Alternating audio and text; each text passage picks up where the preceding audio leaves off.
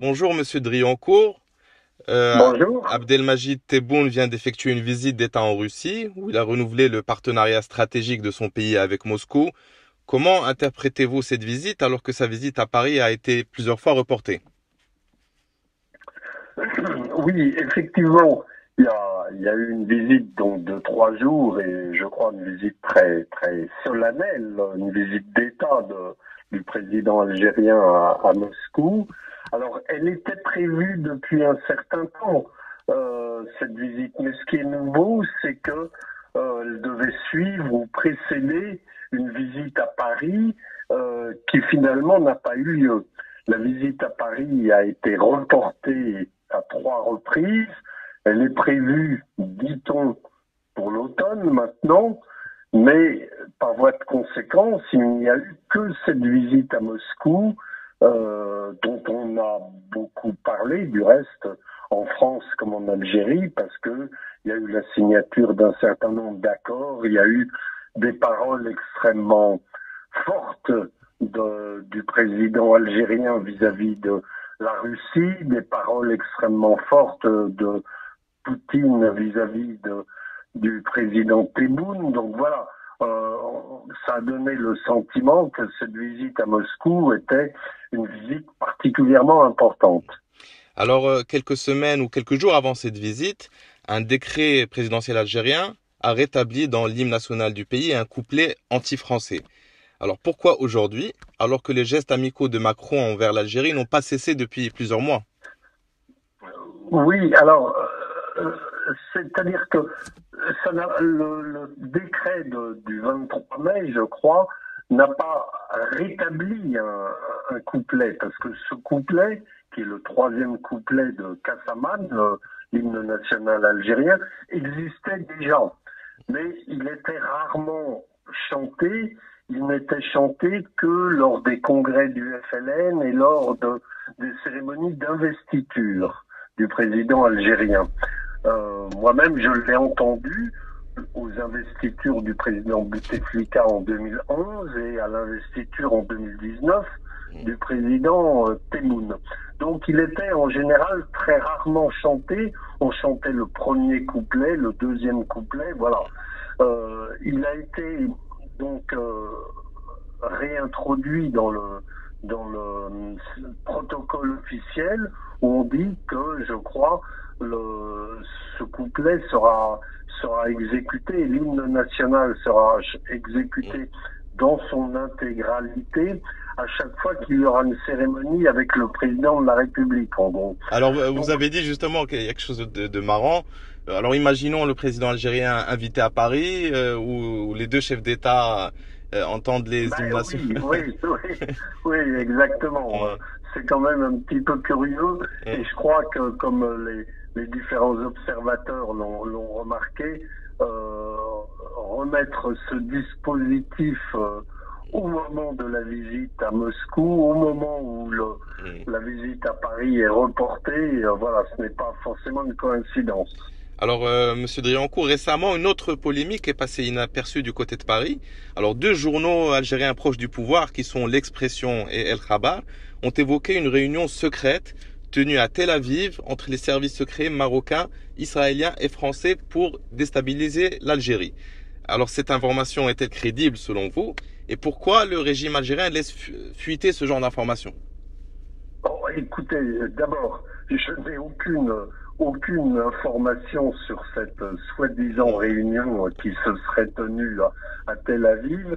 Et deuxièmement, je sais que le journal L'Expression est un journal qui invente beaucoup de fables. Mm. Alors, euh, je crois qu'il faut relativiser tout ce qui est écrit par euh, l'expression. Mm-hmm. Euh, vous et, d'autres responsables français ont évoqué récemment la nécessité de revoir l'accord sur les visas de 1968. Pourquoi avez-vous soulevé cette question aujourd'hui, sachant qu'il irrite hautement le, régime algérien? Alors, c'est la, la Fondapol, la Fondation pour l'innovation politique, qui a publié plusieurs études sur la question de l'immigration dans les pays européens, dont une étude sur l'immigration au Danemark et euh, sur d'autres, dans d'autres pays européens. Et la fondation m'avait demandé pour compléter cette série d'études une note sur euh, l'Algérie. Alors j'ai fait, j'ai rédigé effectivement une note sur l'accord franco-algérien de 1968 et euh, c'est un accord un petit peu particulier qui offre un certain nombre d'avantages aux ressortissants algériens pour l'installation en France, notamment de, de, leur famille. Et effectivement, ça a beaucoup irrité euh, les autorités algériennes et la presse algérienne parce que c'est quelque chose qui est connu, qui est public, puisque ces accords ont été publiés au journal officiel, mais que euh, voilà, qui, qui met en avant un certain particularisme au profit des, des, Algériens. Alors il y a un certain nombre d'hommes politiques français, d'hommes, de femmes politiques français qui ont euh, qui ont repris cette idée. Édouard Philippe, Gérard Larcher, mais aussi Manuel Valls, euh, Éric Zemmour, Marine Le Pen, les Républicains, Éric Ciotti, etc qui ont repris l'idée. Donc euh, l'idée, voilà, elle a été mise sur la table à présent et, et c'est ça qui irrite les, mm. les Algériens. Alors on, on, va revenir un peu sur le président Emmanuel Macron. Parfois on, on, a du mal à suivre euh, Emmanuel Macron. Un jour, il critique le régime algérien en le qualifiant de régime politico-militaire, en qualifiant à demi-mot le président Tebboune de marionnette euh, de la junte algérienne. Et le lendemain, il se rend en Algérie en tenant un tout autre discours. Donc comment expliquer ça? Oui, vous mettez l'accent sur, euh, sur euh, effectivement une certaine sinuosité de, de, de la politique euh, algérienne de la France en ce moment. Il se trouve que moi j'ai été ambassadeur à Alger de 2017 à 2020, donc j'ai vu les premières étapes de cette politique avec une visite du président Macron en en, en décembre 2020. J'ai vu après, au moment du Chirac, une certaine dégradation de nos relations avec l'Algérie. Ensuite, il y a eu effectivement, vous l'avez rappelé, cette interview au Monde mmh. d'octobre 2021 dans laquelle le président de la République avait des propos extrêmement, euh, extrêmement catégoriques sur l'Algérie, sur la rente mémorielle, sur la falsification de l'histoire, sur le système politico-militaire algérien. Euh, ces propos étaient tenus parallèlement à la décision de réduire la délivrance du nombre de visas à hauteur de 50%. Donc on pensait que voilà, il y avait une, une certaine euh, ligne qui avait été définie sur l'Algérie. Et puis, quelques mois plus tard, le président de la République se rend en Algérie pour une visite qui dure trois jours, une visite officielle de trois jours. Madame Borne y va après. Euh, ensuite, euh, il y a eu l'épisode de Amira Bouraoui euh, au mois de janvier 2023 la France n'a pas réagi. Aujourd'hui, il y a ces épisodes que vous avez rappelés, la visite à Moscou, les visites à Paris sont reportées. Donc voilà, notre euh, politique, notre relation avec l'Algérie est quand même extrêmement euh, complexe et, et, va un peu en zigzag. Oui, une dernière question. Oh, allez-y, allez-y. Mais je note qu'elle est également mauvaise avec le Maroc. on, on, on, y reviendra. Mais une dernière question avant de passer au Maroc. Alors quand on voit ce, cette main tendue de Macron envers l'Algérie qui est constante depuis plusieurs mois, qu'espère obtenir Emmanuel Macron en essayant de normaliser ses relations avec l'Algérie? Euh, euh, Quelle est votre question? Pardon, j'ai mal... Euh, je, je, répète, qu'espère Emmanuel qu'espère obtenir Emmanuel Macron en essayant de normaliser ses relations avec, avec Alger?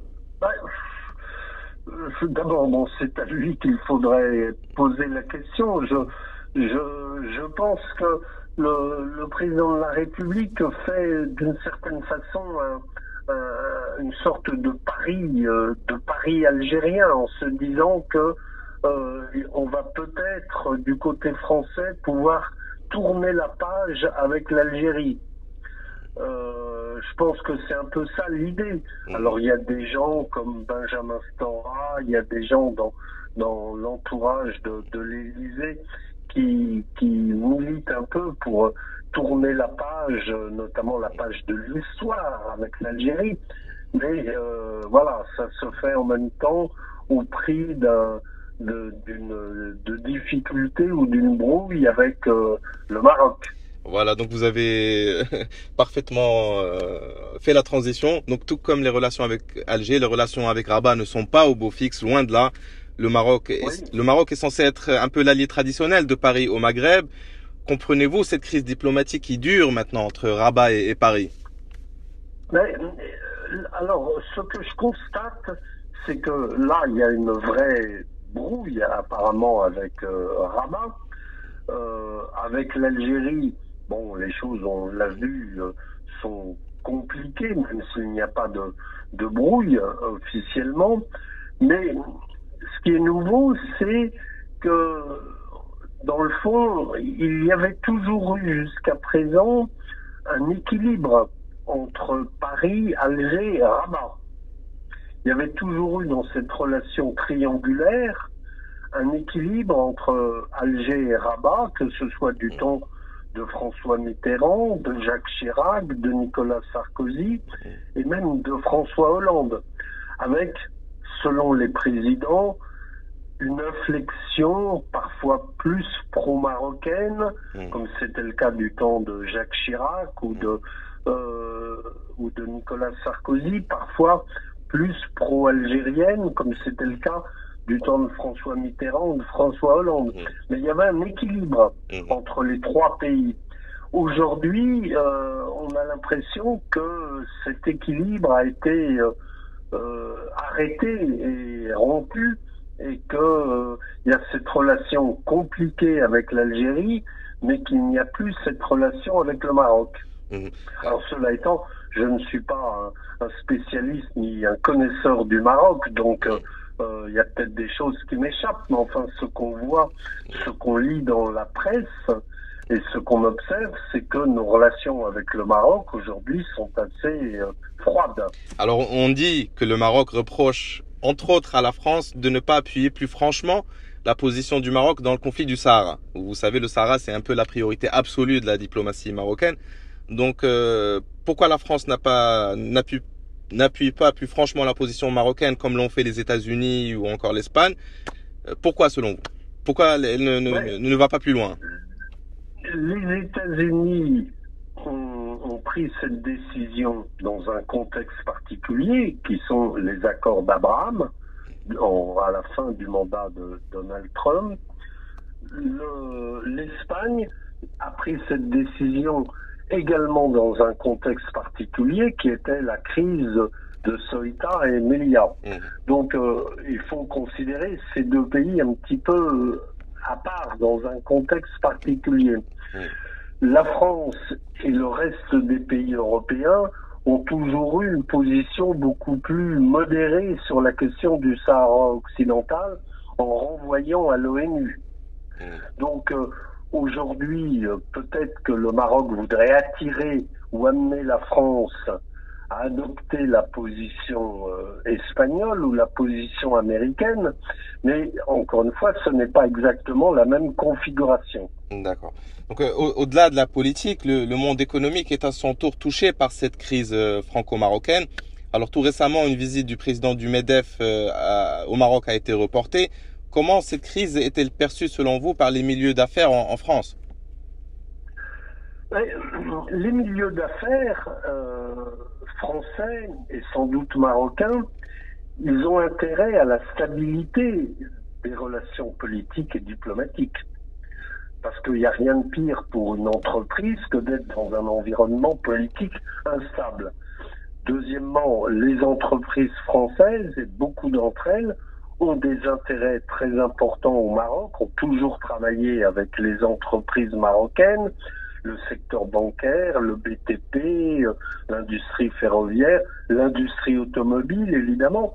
Donc, euh, euh, les entreprises françaises ont intérêt à ce qu'il n'y ait pas de dégradation entre la France et le Maroc. Alors, entre le Maroc et la France, il n'y a pas que l'économique. Les relations sont extrêmement imbriquées. Au-delà du politique, les liens historiques, euh, économiques et culturels sont extrêmement forts. Au Maroc, il n'y a pas de rente mémorielle. Alors ici, euh, du côté marocain, on comprend pas vraiment cette attitude euh, que beaucoup qualifient d'hautaine de Macron à, l'égard du Maroc. Bah, non, ça c'est vous qui le dites. Moi, je ne sais pas du tout quelle est l'attitude du président de la République.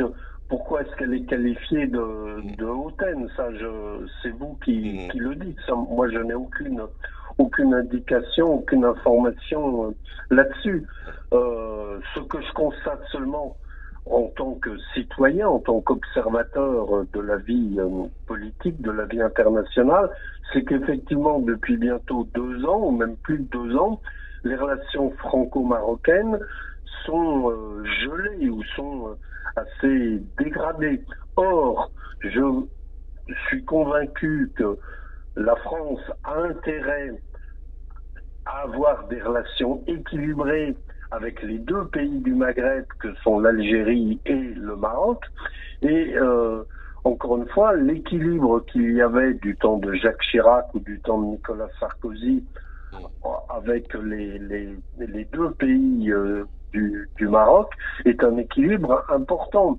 Et il ne faut pas se brouiller avec l'un ou avec l'autre parce que ces, ces deux pays sont complémentaires, sont importants pour la France, en termes économiques, en termes sécuritaires, en termes migratoires, en termes de, de relations autour de la Méditerranée. Donc, il y a intérêt, c'est en tout cas ce que je pense, il y a intérêt à, à essayer de sortir de ce, de ce dilemme franco-algérien, franco-marocain et de sortir de cette crise. Et il faudra en sortir par le haut. Alors euh, tout à l'heure, on a évoqué les accords de normalisation entre le Maroc et Israël. On n'a pas beaucoup entendu euh, l'avis de la France par rapport à ce rapprochement. Euh, pourquoi? Alors que depuis quelques années, on, voit un rapprochement fulgurant entre, entre Rabat et Tel Aviv. Oui, mais c'est la, j'allais dire, la consécration d'une politique qui avait déjà commencé il y a, il y a plusieurs années. Et puis les relations entre le, le royaume marocain et euh, Israël ne date pas d'aujourd'hui. Vous l'avez dit vous-même, il y avait déjà des relations anciennes. Il y a euh, un nombre important de, de juifs euh, qui sont restés au Maroc. Il y a eu toujours des relations très très fortes. Donc euh, là, c'est la consécration, la matérialisation, l'officialisation de relations, euh, de relations qui existaient déjà. Hein. Mhm. Donc, ce qui est nouveau, c'est ces accords à trois États-Unis, Israël, Maroc, avec d'une part la, reconnaissance de la position marocaine sur le Sahara occidental, en échange d'une reconnaissance officielle euh, du rôle d'Israël. Mhm. Alors euh, au Maroc, euh, alors que jusque dans les années 2000, la France était considérée comme la destination naturelle des étudiants marocains, aujourd'hui de plus en plus de jeunes marocains rêvent de Canada, d'États-Unis, de Royaume-Uni. Les jeunes apprennent de plus en plus la langue anglaise. Le gouvernement a tout récemment décidé de généraliser l'enseignement de l'anglais au collège alors au-delà du politique, c'est l'influence culturelle de la France qui commence à être en difficulté au Maroc. Et, cela, comment, est-il perçu? Oui et non. Euh, oui, vous avez raison, parce que l'anglais se développe, mais l'anglais, c'est aussi de plus en plus la langue, la langue universelle, la langue de l'Internet, etc. Donc, c'est normal que beaucoup d'étudiants marocains, mais aussi d'Algériens, du reste, se tournent vers le Canada, vers les États-Unis, vers le Royaume-Uni. C'est assez, euh, j'allais dire, logique. Mais non, parce que je crois que l'influence euh, du français reste encore importante. Euh, au Maroc, comme en Algérie, mais un peu moins en Algérie. Mais regardez, au Maroc, il y a 45 lycées français. 45 ce qui est énorme. Et vous savez comme moi que les, les élèves marocains cherchent à faire leurs études dans les lycées français. Il y a même un lycée de l'Alliance israélite universelle. Il y a des lycées de l'agence de l'enseignement français à l'étranger. Il y a donc 45 lycées, c'est énorme. Ça veut dire qu'il y a à peu près 30 000, 40 000 élèves marocains qui vont dans les établissements français. Donc voilà, euh, l'influence de la France, elle passe aussi par ça, c'est peut-être plus discret. Peut-être que les élèves marocains qui font leurs études euh, dans les lycées français, peut-être qu'après ils vont faire leurs études supérieures au Canada ou aux États-Unis, mais ça c'est la règle du jeu. Ça veut dire que ce sont des élèves aussi qui, quand ils seront adultes, parleront français. Mmh. Alors une, dernière question, Monsieur Driancourt. Euh, qui, qui dirige l'Algérie? On dit, on, dit, on dit que depuis la mort du général Gaït Salah et, la réhabilitation du général Toufik et Khaled Nazar, ce sont ces deux derniers qui dirigent de facto l'Algérie. Est-ce que c'est est -ce que vrai? Euh, La vie politique algérienne est très compliquée. Donc, c'est difficile de répondre à votre question.